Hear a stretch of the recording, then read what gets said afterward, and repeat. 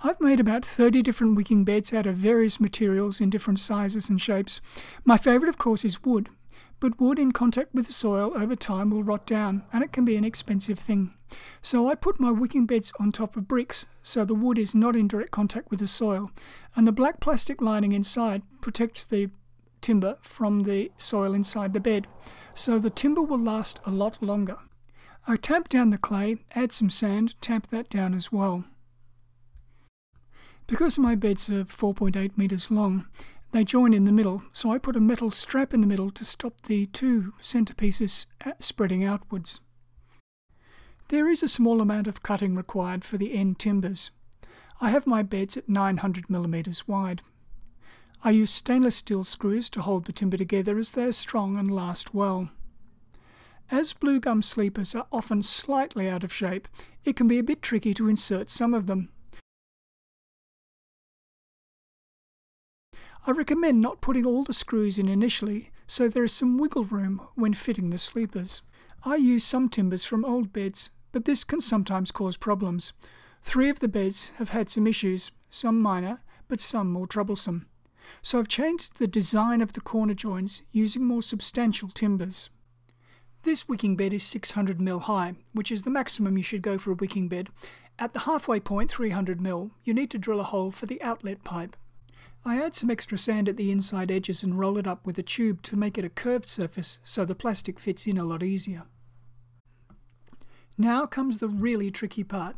This food grade plastic is half a millimetre thick, so it's quite a lot of work to fit it inside your wicking bed. It would make it a little easier if you had someone else to help, but by taking it slowly, bit by bit, it will fit into the timbers. It's very tough plastic, so there's little chance of damaging it. This is the fold you're looking for at the ends, much easier with a piece of paper. It feels almost impossible at first, but with perseverance and a bit of tape, you'll get there in the end. And once you finish this end, you've got to do it all again at the other one. For the inlet pipe I use a 90mm pipe with holes drilled every 300mm, a right angle on one end and an upright for the water to come in. At this point I partially fill the bed to weight the plastic down and settle it along the bottom.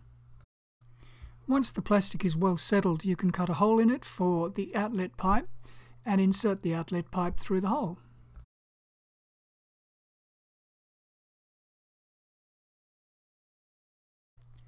Tighten it with a spanner to make a good seal. Now fill up to the outlet level with sandy loam. I now put a reinforcing rod at the midpoint of the bed. From the outlet hole up to the top I add a mixture of sandy loam and compost. At the very top I use just pure compost. At this point it's very good to have a bucket barrow to make the filling much easier. To clean up and finish off the top of the bed I used old hardwood fence palings.